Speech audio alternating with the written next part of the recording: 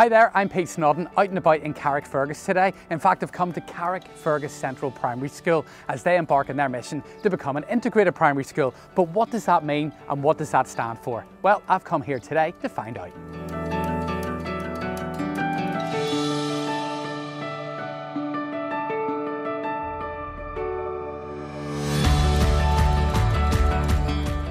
So what do you love about primary school? Um, that you get to have loads of friends and you get time to play and the teachers are very nice. And this is an integrated primary school, so what does that mean? It means like anybody can come here of any like um, of any like race uh, or of any skin color or of anything like that because it doesn't matter because we all want to learn together.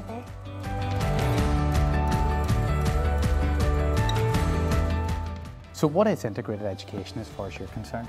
It's like people from different backgrounds can come to school, like Protestant and Catholics, can all be in the same school instead of one Protestant and one Catholic school. And do you think that's better? Yeah.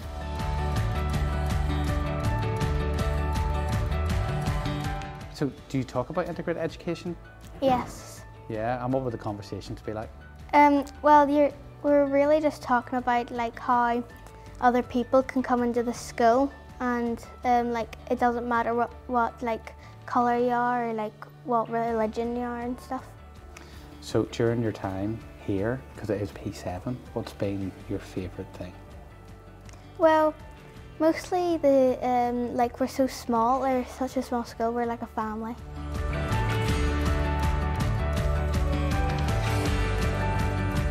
My name's Lucinda, my son Aidan is in P4 here.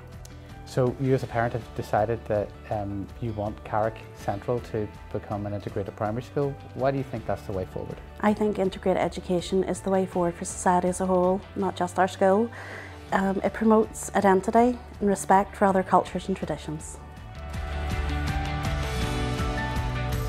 Last year, at February 2019, the parents had a ballot and 86% of the parents voted to the change to integration for the primary school. We are now waiting for the transformation for change to be approved by the Department of Education.